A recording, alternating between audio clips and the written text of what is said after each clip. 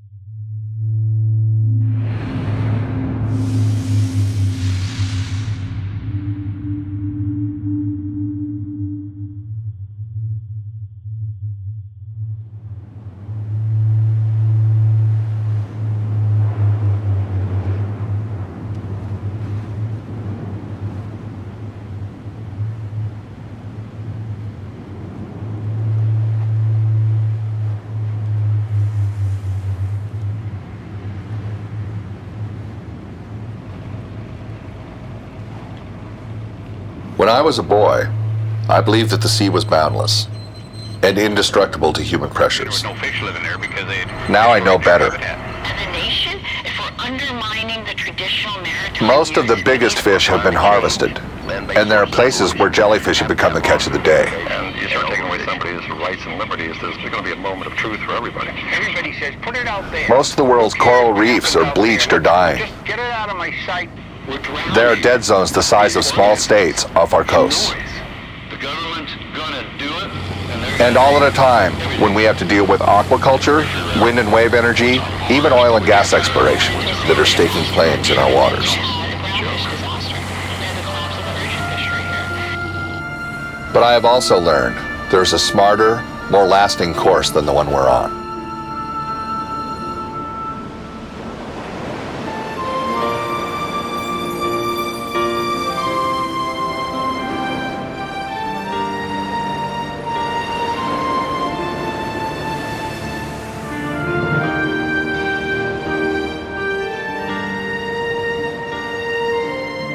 In 2010, the United States adopted its first ever national ocean policy.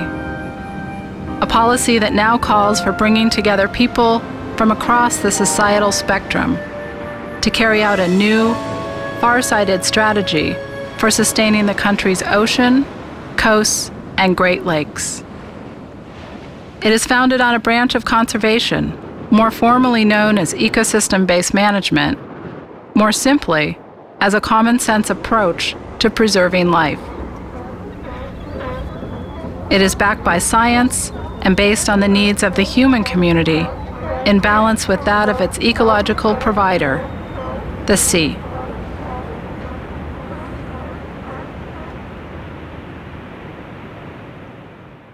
So we have things that happen right here in Iowa that end up affecting folks thousands of miles away, fishermen trying to fish in the Gulf of Mexico.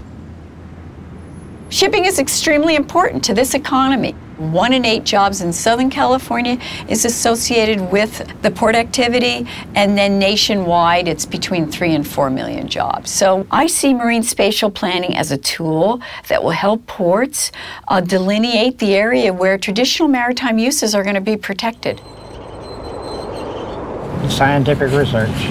Do we need and We're finally getting it, thanks to our reserve. if it's not too late? No, it's not too late. Our I said if. Yes, it's not. To meet some of the movement's pioneers, we will journey from coast to coast, as well as the land between.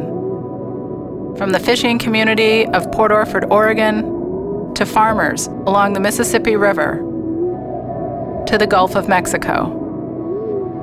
From divers in the Florida Keys, to whale researchers and industrial shippers in Massachusetts Bay.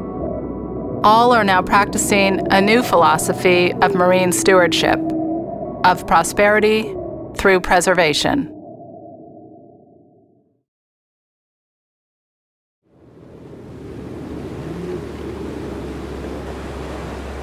We're now inside the Stellwagen Bank National Marine Sanctuary.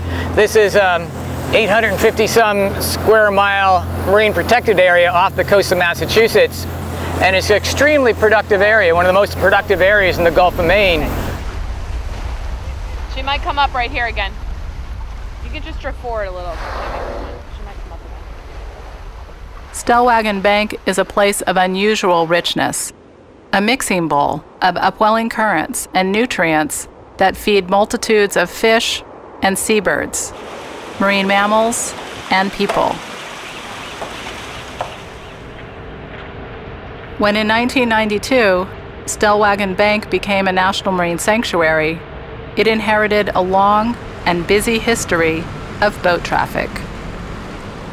The sanctuary's waters are plied by all forms of vessels, and that has posed a growing challenge for the largest and oldest residents of Stellwagen. Well, the problem that we're trying to deal with in, in this particular piece is really North Atlantic right whales and humpback whales and finback whales, all these endangered species, being struck and killed by large commercial vessels. By that I mean uh, ships that are 300 gross tons or more. There's more and more cargo ships going in different directions from overseas and up and down the coastline. There's a lot of recreational uses, there's commercial uses a lot of demand for wind power to be done out on the ocean. We now have two offshore uh, liquefied natural gas terminals off the coast of Boston.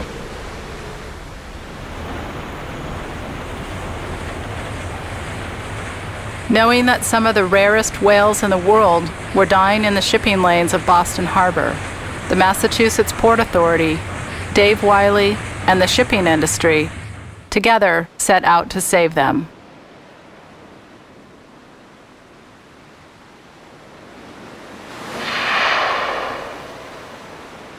The most immediate questions were simple to ask, yet hard to answer.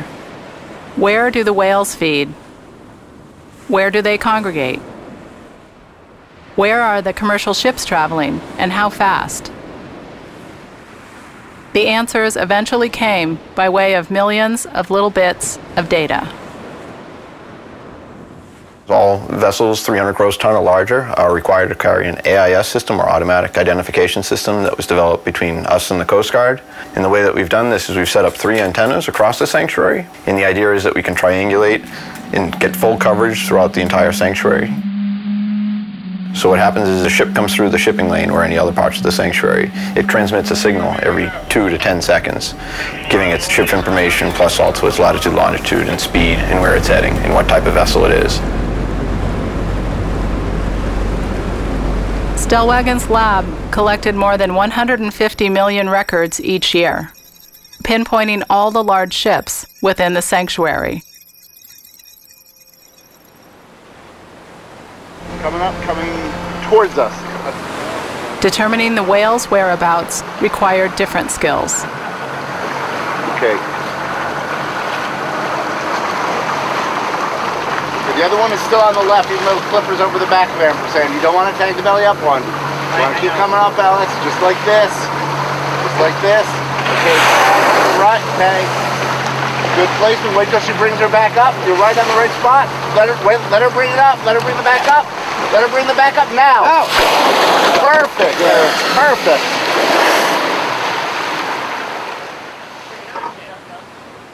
To track the whales, Wiley and his crew employed a new device called a D-tag, a miniature computer harmlessly fastened to the whales with suction Come to cups. the left, come to the left, come to the left, come to the left, come to the left, up, down. Perfect. Oh, oh man, beautiful. Wow. Very beautiful. When the tag detaches from the whale, a radio beacon leads scientists to its location to retrieve it. The D-tag has granted us a far more intimate picture of the whale's underwater world. This animation is based on the information gathered from the D-tag. Here we see the feeding behavior of humpback whales as it has rarely been seen before.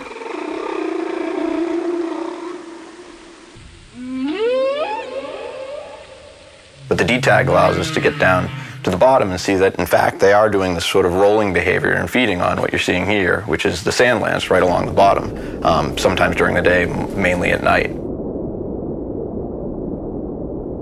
And superimposed in here is some fixed fishing gear, which you'll see here is a gill net, and then also the surface lines going up to the uh, surface.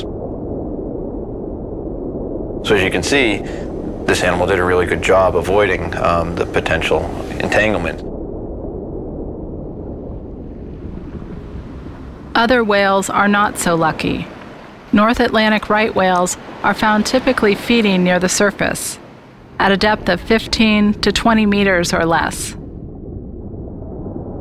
15 meters is also the keel depth of large vessels entering the port of Boston. putting whales into strike range. With as few as 350 members of its kind remaining, the death of even a single breeding female can tip the species towards extinction. So one of the next things we wanted to look at is uh, how serious of a problem is this? So another visualization here is showing you, uh, again, the sanctuary's dropped into 3D here, and these are nautical mile uh, grid cells. And the height of the um, each of the cells that you're seeing is, in fact, the dense areas where there's the most population of whales. Thompson and Wiley overlaid the shipping lanes and saw a collision waiting to happen. There were also areas in the sanctuary that were less used by whales. So we decided it'd be a good idea, very smart, uh, to try to move the shipping lanes from areas that whales used a lot to areas that the whales used with much less frequency. Wiley took his idea of moving the shipping lanes to the Port Operators Group, presenting his data and offering solutions that were good for the whales. But were they good for the shippers? Our initial response to the, uh, the proposed shift in the, in the traffic lanes uh, was guarded, and then uh, we had some concerns uh, for navigational safety. It was the first time that you know we'd ever been approached that at that level, uh, in that detail, to figure out what was going on on the ocean. You, know, you can't manage it if you don't know who's out there and what they're doing. So. barge on the right channel. about a scanner,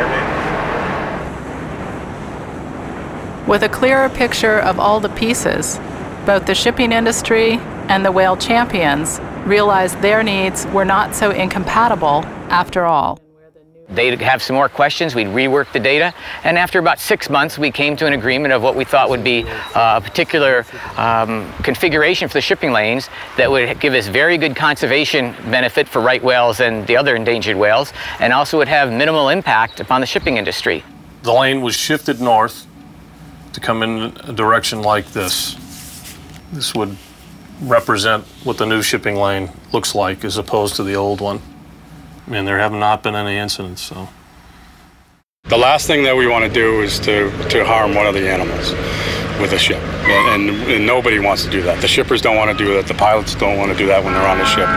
So we, we want to take the steps and we educate the, the captains and everybody involved so that that risk is, is reduced. Yeah. There's been close to 100% compliance with the ships following the, the uh, voluntary lanes, and I think that's testimony to how much the industry really embraced it.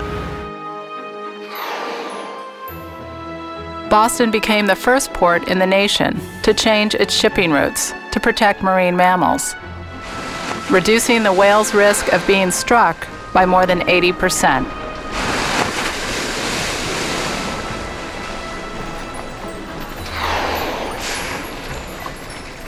But there would be little time for celebration.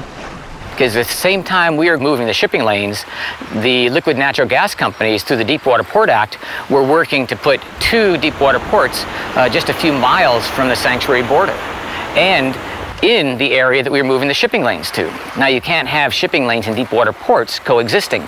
So now we had in conflict a project that was very important for endangered whale conservation and of course the LNG very important to the nation for energy independence and security. Well, Excelerate Energy looked at the market in the northeast U.S. as far as there was a great energy need here and we have a solution to bring an incremental supply of natural gas to uh, the Northeast. And that's where we developed the Northeast Gateway Deepwater Port. We knew coming in that the whales would be an issue. So I got this phone call from these guys at Excelerate going, hey, you know what? Time is money. Every day we're not in the water. That's, that's costing me a million dollars and people sitting around waiting to start building this terminal. Fix it.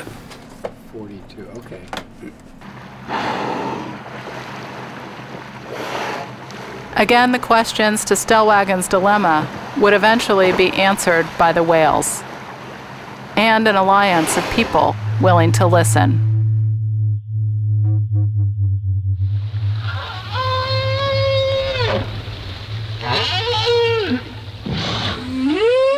For in fact, the whales were speaking amongst themselves, as were most of the creatures of the sea. A phenomenon of vital underwater chatter that humanity had only lately begun to decipher.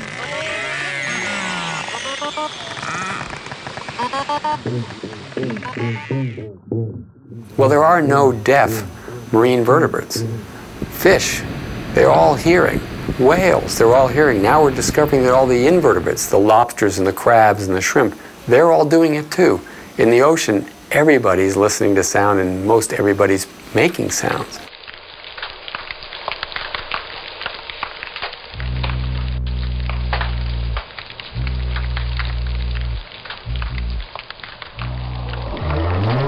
Right whales make this particular call called the right whale up call. Kind of go, "Whoop," and that's a call that they use for contacting each other. To make sure that no whale would go unheard, Excelerate Energy financed a network of acoustic buoys in the middle of Boston's shipping lanes. With Cornell's bioacoustic know how, Woods Hole engineers, and Stellwagen's marine biologists all on board, the unlikely collaboration developed the nation's first ever acoustic whale detection system. As soon as the vessel enters the shipping lane, we reduce our speed to 12 knots or less. We put personnel on the bridge of the vessel and they start generally scanning for marine mammals. We made it work. We can now listen to the ocean. We have a network of these buoys right in the middle of the shipping lanes. And these are positioned about 10 miles apart so they overlap and they can listen for whales throughout this area.